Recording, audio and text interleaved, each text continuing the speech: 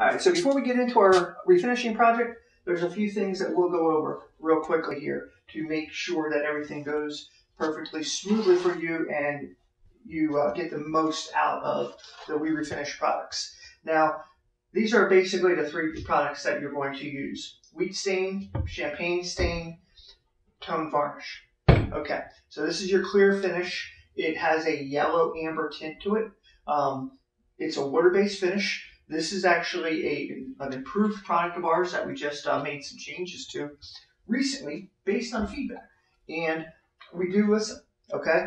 And this is actually has been such a big improvement. For, uh, I absolutely love this product now.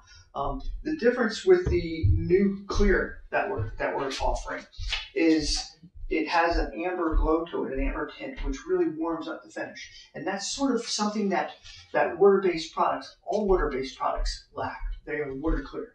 So we're using an oil-based product or a lacquer. Um, they have a yellow or an amber glow to them, and that gives you a lot of warmth, which is something that we try and replicate with Heywood Wakefield because the reason that the, the aged Heywood Wakefield finishes look so different than they looked originally is because the, the lacquer that they used, the nitrocellulose lacquer they used, turned yellow. It turned a terrible yellow. It wasn't supposed to do that. But the look that we have now isn't the original look. It's not what it looked like in the 50s. Okay, you now have basically a yellow filter um, on top of your finish. So we look at it and we think, oh, this is the original color. It's not really the original color, but it's the color that we have that we know of now as the original color because it has a yellow filter on it. That lacquer turned yellow. So water water-based finishes is kind of really hard to replicate that because the the finish is clear. Okay, so you lack that. We have now gotten past that with this new and improved clear that is going to give us that very mild, like uh, you, you, don't even hardly notice it, right? Um, but this is a dye infused amber and it really makes a big difference. So let me show you. So this was our original champagne, okay? Um, now what we're doing is this right here. Okay, so this really sort of is the difference between the two. The stain's exactly the same, the finish is exactly the same. The finish just has a little bit more amber glow to it, an amber warmth, and it gives you a little bit more of a warm kind of look when the finish is all done. So this piece here was just refinished with our uh, champagne and this amber clear. So in this the color, the look that you're going to get, this is what you know we had before. Not a crazy difference. You know what I mean? Not a crazy difference but an improved difference, right? Every, every little thing that we can do to make it a little bit better, we're always listening. We're always open to suggestions. So, by all means, you know, let us know what you think. Um, uh, but I just, you know, we're, we're to a point here where I just don't know how to improve it anymore. You know, once you eventually just get the look and you're just there, right? So, here's some things to know before you get started with these products. These products are different than probably any products you've ever used. They are specifically designed for Heywood Wakefield. They're specifically designed to give us an exact color on this wood. Um, this is a very dense wood, so it takes a different type of finish, a different type of stain. Um, there's a lot of colorant added, and they're just designed completely different than any stains. So you really need to follow the directions. If the, the complaints that we, we have gotten through the years tend to be people that haven't followed the directions and that always say that they followed the directions, but you can tell that they didn't, right? I can tell. And you have to follow the directions because these are different products than what you're going to be used to using. These, these aren't Minwax stains. They're not an oil-based stain where you can just put it on, cover the whole piece in stain, and go back over it and wipe it all off. These are very specific finishes that have to be done in a certain way. So if you follow these videos and, and look at them, once you know how to do it, it's super easy. It's just that you can't base your refinishing uh, style and routine off of things that you've done in the past. You really need to do this stuff differently. Um, most notably, work in small areas. Work in small areas and small sections because this is going to dry fast, right? So the reason that this dries fast is because it's a waterborne, water reducible stain and finish. With a water reducible stain, it evaporates. Okay, so it evaporates relatively quickly. and that's the problem that people run into. They um, they go too slow, right? It starts to evaporate, and then it dries and it doesn't come off right, and it gets streaky.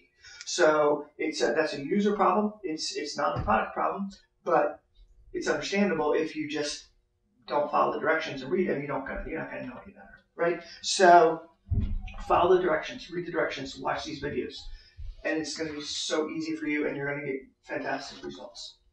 Another thing, since it's a water reducible product, don't have any air blowing on it. Okay, you don't want to really do this. I mean, you really don't want to do this outside on a windy day.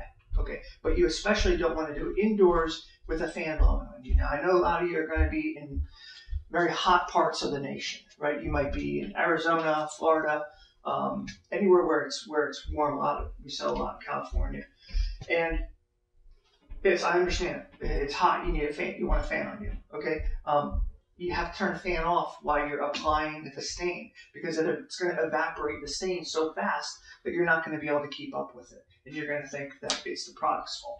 Um, you can't have any air blowing on you. Okay, nothing. You don't want anything that's going to uh, make the stain evaporate quicker than it already is going to. Okay. Number two, same basic thought. You, you, you need to stay out of direct sunlight. Okay. You could definitely work outdoors, but if you're going to apply this stuff outside, make sure that you are in shade. Okay. Sunlight heats the piece up, evaporates it like that. Okay. So you don't want a hot surface. If you have a hot surface, you know, you know what happens with water with water-based items, um, it's going to evaporate really quickly. It's going to make it, again, very difficult for you. You're going to blame the product, it's not going to be the product's fault. You have to put the product in, a, in the right environment. Okay? So uh, stay out of the sunlight, preferably indoors, but outdoors is absolutely fine as long as you are in shade or cover. In a garage is a great place, right?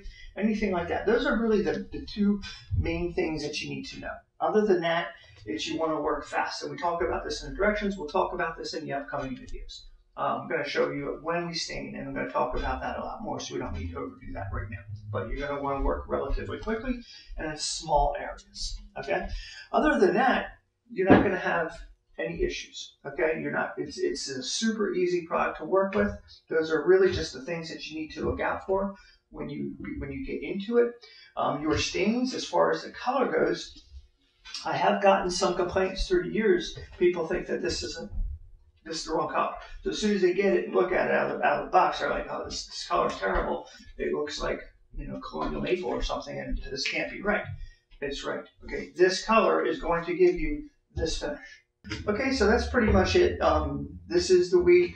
This is the champagne. They are the correct colors that you're going to need to get these colors um, as your final result. So the bottom would be the wheat, top would be the champagne.